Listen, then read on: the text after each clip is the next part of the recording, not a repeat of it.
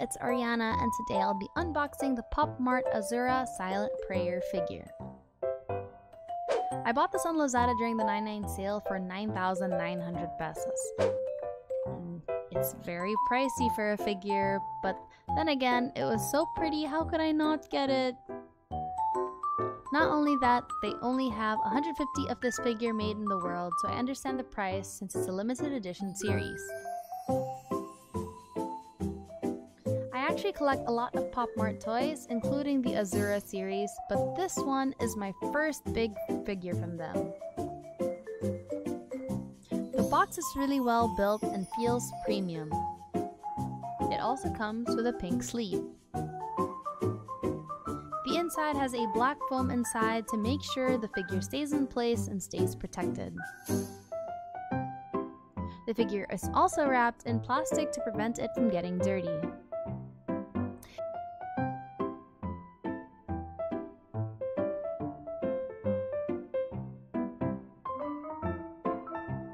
It also comes with a heavy base to prop the figure on.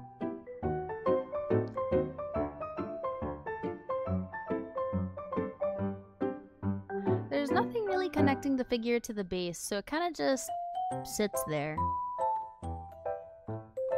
So if you were to display it, be careful and put it in a place that won't easily get booped. The details are amazing on this figure, from the build quality to the painting, everything is beautiful. The gold details are shiny, the gemstone on the head is iridescent, and the signature Azura teardrop looks great in the light. I can say that this figure is definitely worth the price. It also comes in two other color variants, Frozen Lake and Dark Soul, which are both really cute too. But the Silent Prayer is still my favorite because I feel like it complements the rest of my desk setup. Here's a size comparison to the regular Azura toy. Overall, I'm really happy with my purchase, especially since I'm a big fan of collecting toys and love my newest addition. What do you guys think?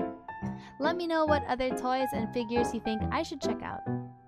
You can follow me on social media to see what other toys I add to my collection. I hope you enjoyed that unboxing. Bye!